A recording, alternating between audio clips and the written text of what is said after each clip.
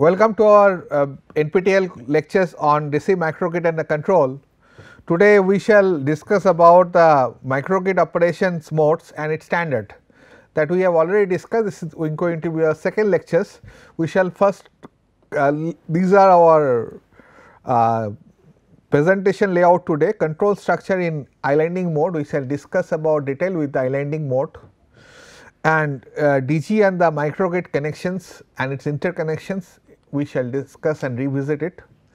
Then DC microgrid for low voltage DC distribution network that is uh, the same we shall go back to the uh, days of the DC uh, transmissions and we shall see the problems of it and then we will revisit the problem and its present context.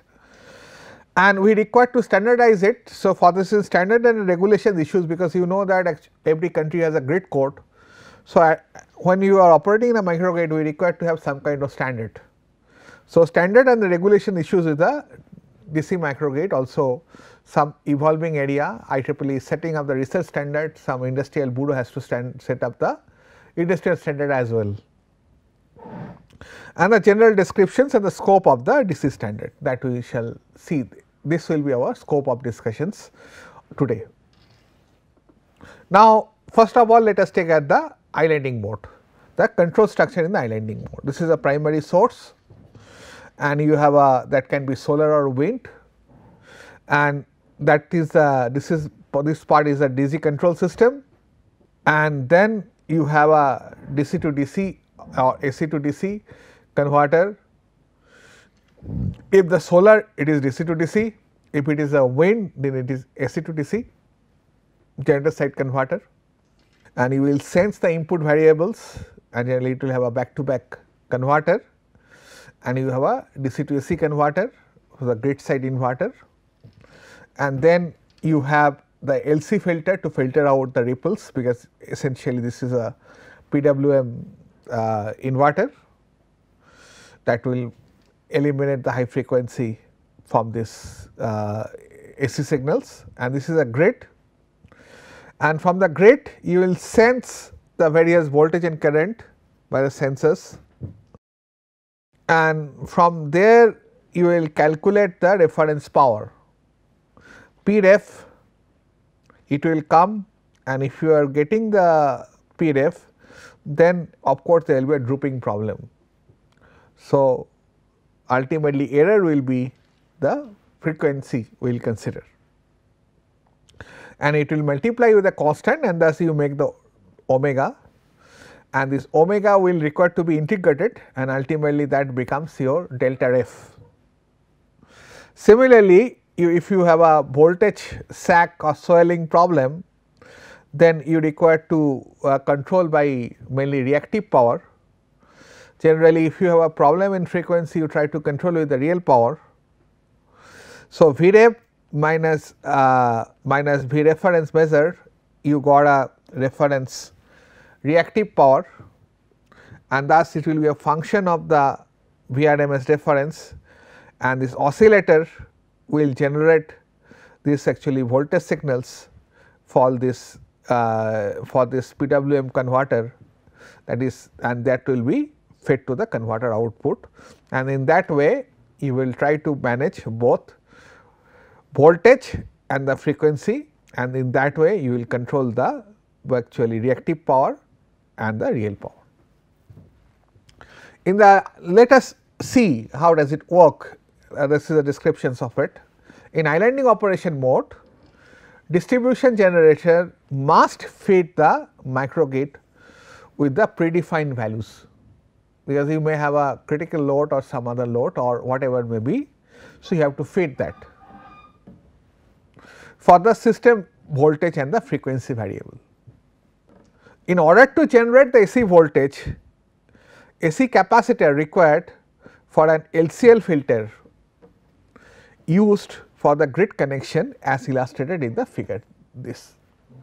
This will actually is required to feed this you know this you can see that it is QG ref. So, this will be the source of this reactive power and also it will act as a filter. With the structure of the control strategy of the grid side converter, can control the voltage and the frequency at the PCC that is PCC is the point of common coupling this point is basically the PCC and can emulate the behavior of the synchronous machines. So, we have to emulate the behavior of the synchronous generator that will be feeding power. So, same characteristics has to be done here. The control system is known as VSI control or voltage source inverter control, the phase to phase voltage control by a closed loop control according to the following reference. Please go back. So, these are the voltage reference U 1 3 and U 2 3 what has been shown here. So, here you have a U 1 3 measures and U 2 3 measures. Here this is basically the line voltage between 1 and 3 and this is line voltage between 2 and 3. So, this is it a rest of and this is a line current between this I 1 and I 2. So, U 1 3 reference it should be you know V RMS into root 3 into root 2 sine 2 pi minus pi by 6 and similarly U 2 3 reference will be V RMS into root 3 into root 2 2 pi into plus pi by 2 plus VT reference.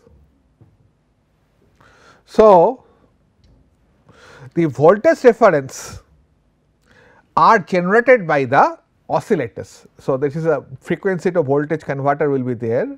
So, that will essentially generate the voltage reference this oscillators which fit with the phase shift between the grid voltage and the modulated modulated voltage delta f and the desired value of the line voltage or the VRMS ref. In practice generally the inductance of the grid connected choke is to minimize the voltage drop and so the voltage across the AC capacitor is nearly equal to the grid voltage. So, this inductor required to be very low in size. So, the drop across this is quite negligible. Now, by neglecting the filter losses, the single phase equivalent circuit of the grid connection side can be obtained as shown in figure 2. This is the figure 2. So, you got VSI that has been shown here as Vm, the inductor you have a current and this is a grid and this is Vm, this is L into omega and this is V and this is the angle delta in between. So, neglecting the filter losses in the single phase equivalent circuit of the grid connections uh, side is obtained as shown in the figure 2. In order to generate current I and the modulated voltage Vm must be higher than the capacitor voltage Vc. So, we have to see that this value Vm required to be little higher and required to be also phase shifted.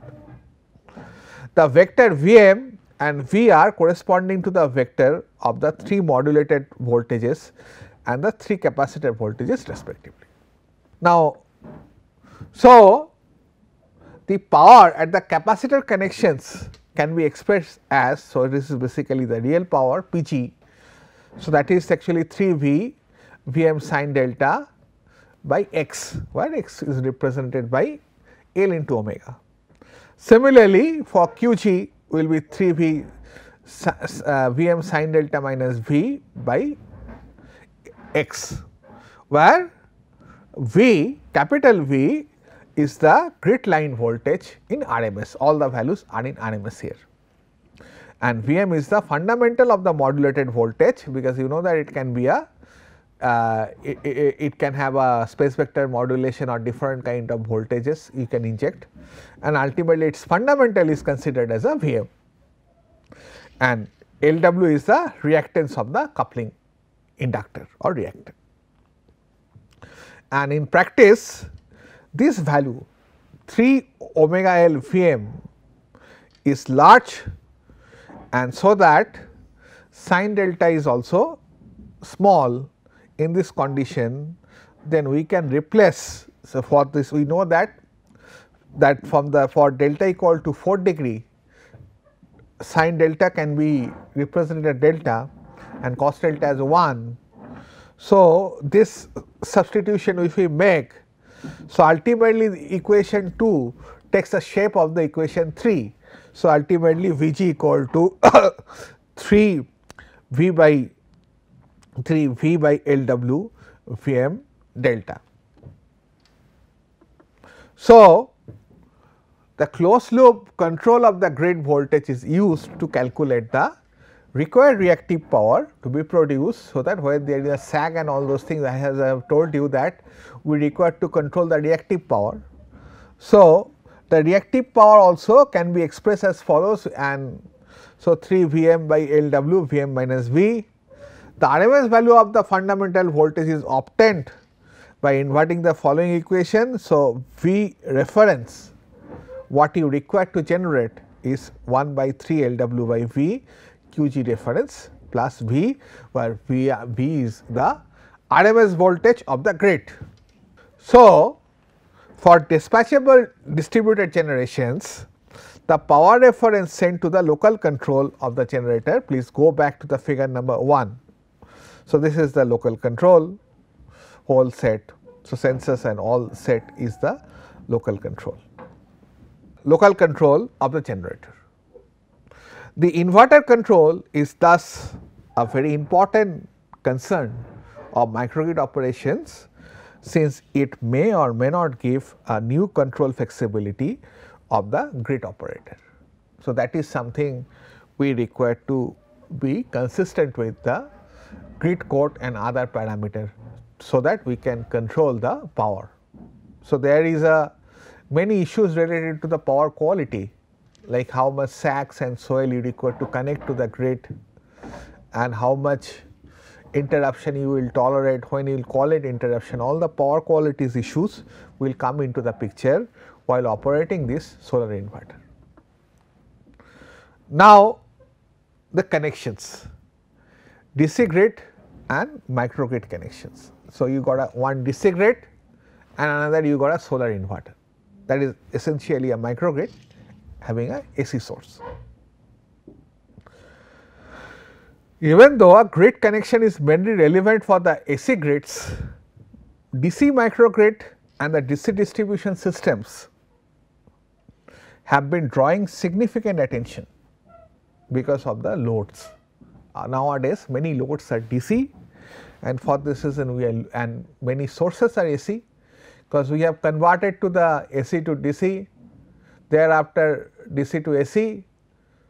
So, this conversion is no longer required in case of the solar maybe you can have a you can have a DC to DC converter and have shown the potential to compete with the conventional AC system. High voltage direct current HVDC system has been installed. So, because we have seen that power losses in the AC system is more than the HVDC uh, uh, installed worldwide and proved to be the very effective and the reliable for the bulk and a long distance transmission line for the electric power. Since you know actually we had uh, let us take a case of the India generally we have a fuel based resources that is coal in eastern region and we require to ultimately what happen and for past 20 years load centers are shifted in Bangalore, Hyderabad in that side that means southern side. So, it has been found that instead of transporting coal, transporting the power is beneficial if you have a HVDC transformer and same thing it is observed throughout the world and for this reason DC power has been dispatched in the bulk with a very high voltage or extra high voltage DC transmission. And let us come to the uh, smaller DC sources. DC is also attractive for the low voltage applications.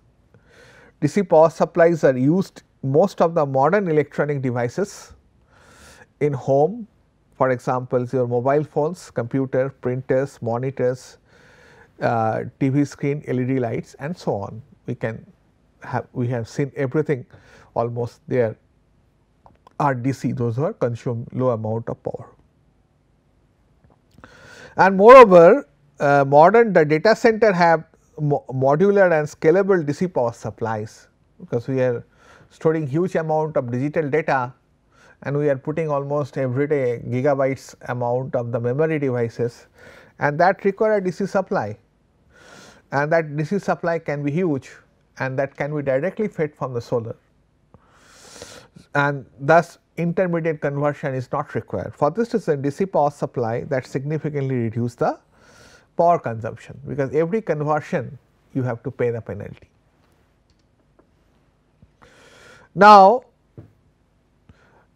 we shall continue with the grid and the microgrid connections see that this figure 3 we have a PV we have DC to DC converter. Why to track mainly this voltage? Because solar panel essentially are the variable DC source depending on its irradiation and the temperature. And bus required to kept at the constant voltage and also it required to track the maximum power point. And for this reason you require to have a DC to DC converter. You may have any other power sources for for example fuel cell or batteries or whatever may be and that required to be uh, configured with the same DC bus level and thus you require a power conditioner. And thereafter you have a DC distribution panel, thereafter you may have a AC load and for this reason you require an inverter. You may have a DC load and you also have a battery that is a bidirectional DC to DC converter. Same way for the second microgrid. So, this is the structures of two DC bus. So, common issues in AC system such as power factor, THD, total harmonic distortion or the current distortion, voltage distortion, synchronizations are no longer a great problem in DC bus system. That is one of the major advantage in synchronization. Due to the nature of the DC output, PV power is considered ideal for the DC microgrids because DC uh, because microgrids the solar panel generates DC. PV power interconnection for the DC grids is, uh, is straightforward because DC to DC conversion is simple and more reliable than DC to AC conversion because you in between you require a inverter and filters all those things makes the thing bulky. For example, a low voltage DC that is LVDC microgrid is been illustrated and we have described it here. This system shows two DC uh, distribution panels that connect to the common DC bus. We can have a different kind of architecture of the Uh, DC microgrid.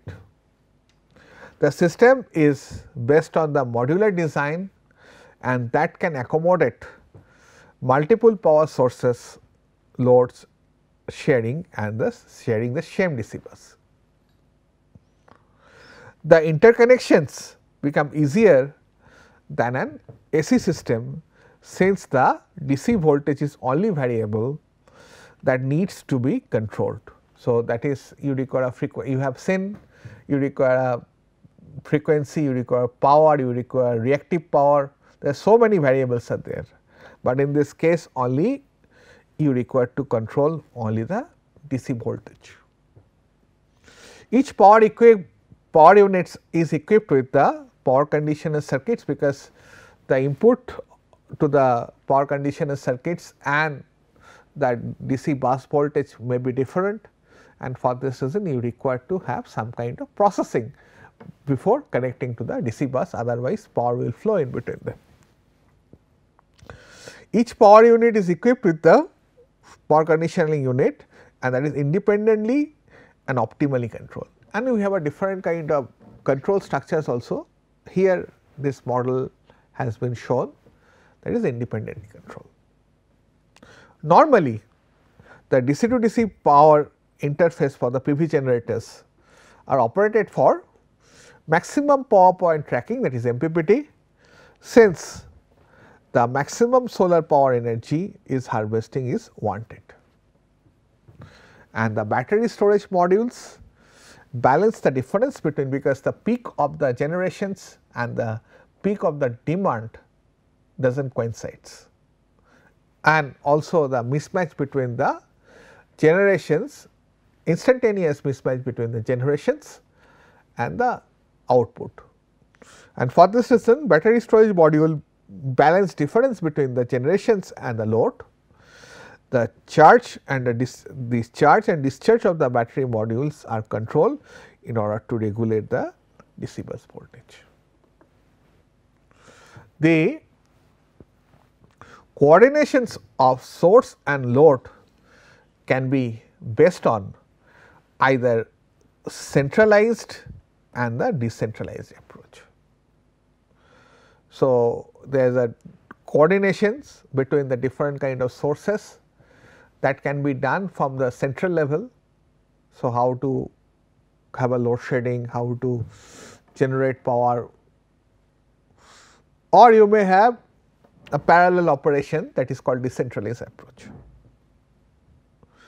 And among the various sharing strategies, the droop control method, we have studied the droop control method for the eh, synchronous generator that is for the frequency. We have seen that frequency generally droops uh, increases or decreases by changing the demand if there is a mismatch between the generations and the production. The same strategy, but here there will be a voltage droop only not frequency. The, uh, the droop method is one algorithm that is commonly applied for the decentralized coordination because voltage droop is essentially will tell you that what kind of situation is there whether load is more or generation is more. There is an another option there is also an option to include bidirectional DC to AC converter for the AC uh, grid interconnections and some portion of the grid may have the interface with the grid main grid or the microgrid with the DC to AC interface.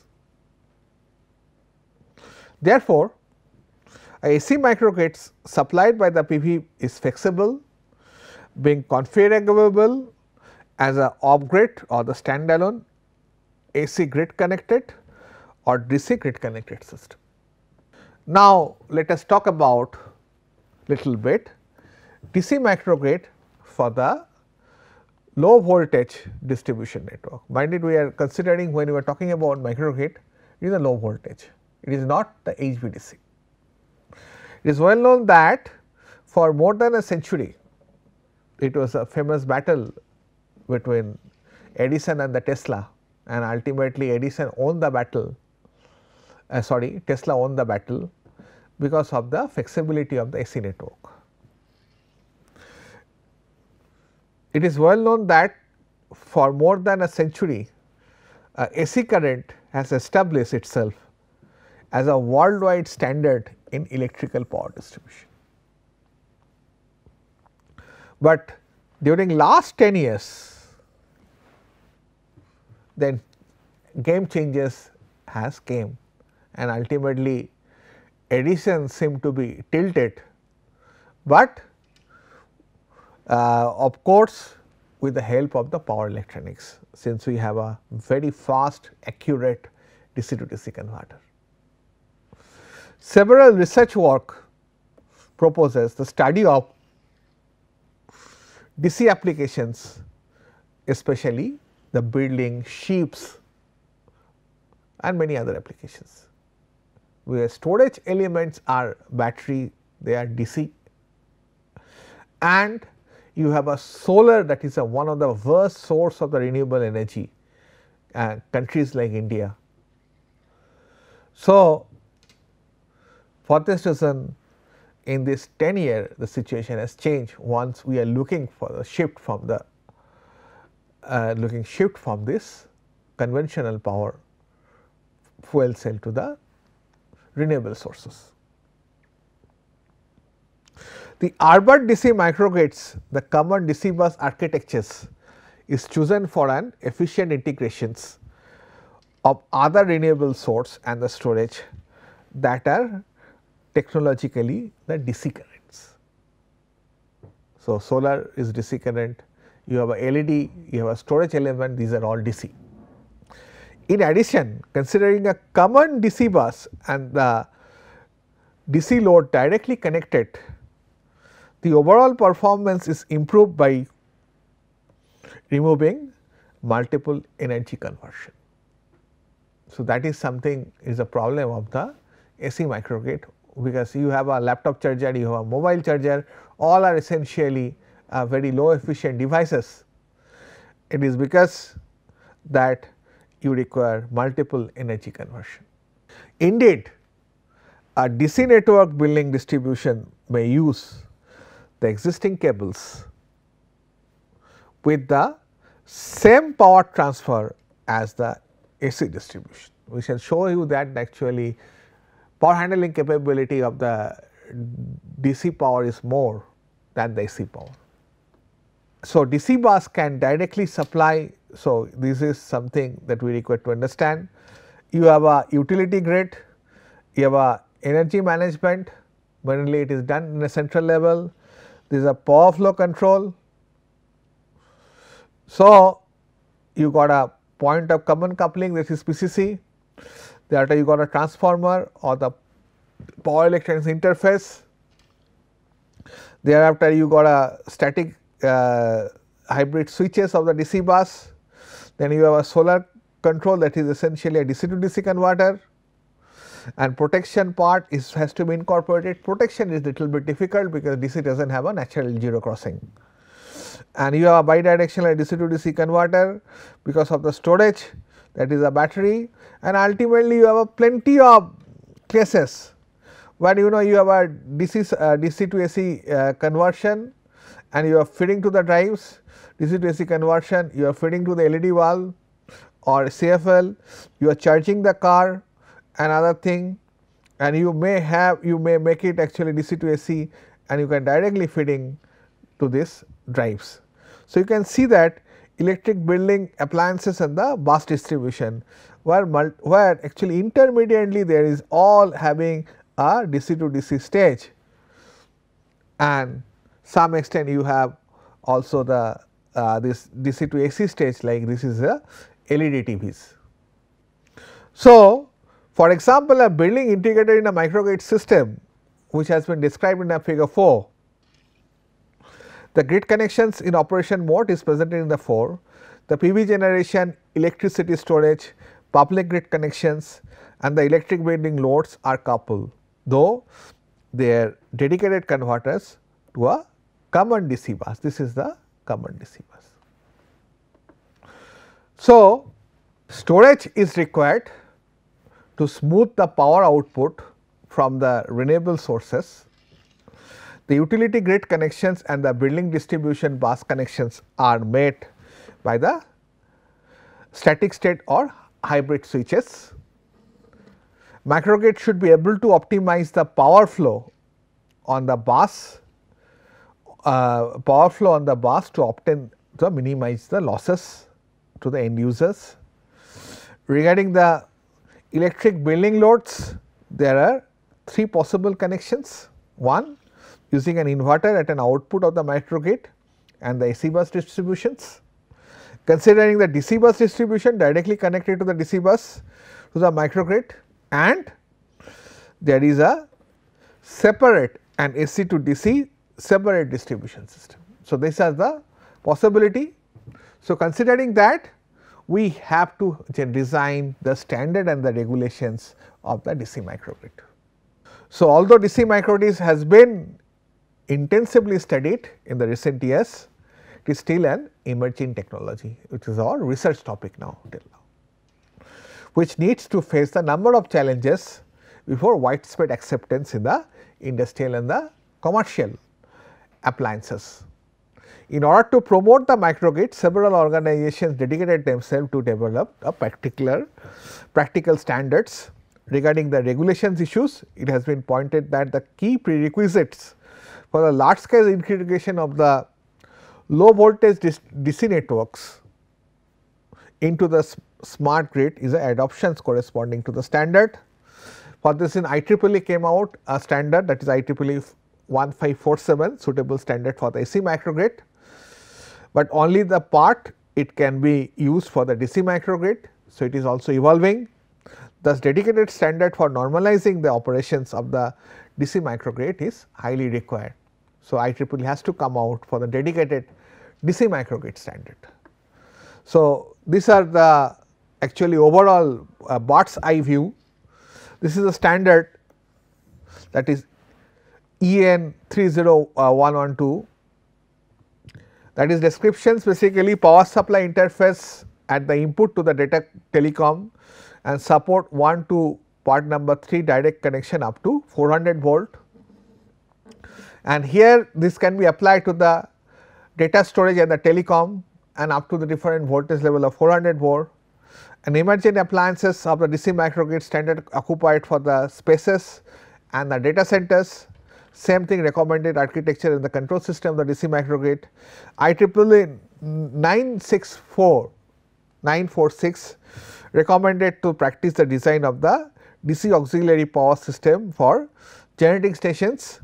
So, these are different scope normalizing operation regarding batteries, thereafter its maintenance, duty cycle, typical architecture of the DC system and the voltage rating of the DC equipment. This will come under this IEEE standard.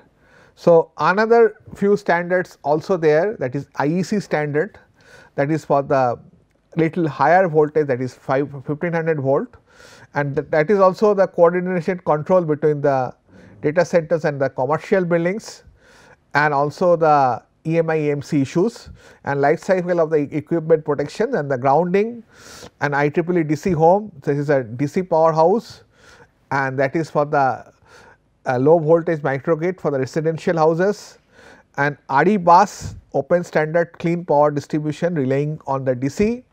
So, it has 380 volt DC bus that is very important uh, with the acceptable variation based on the status of the source, load and the energy storage.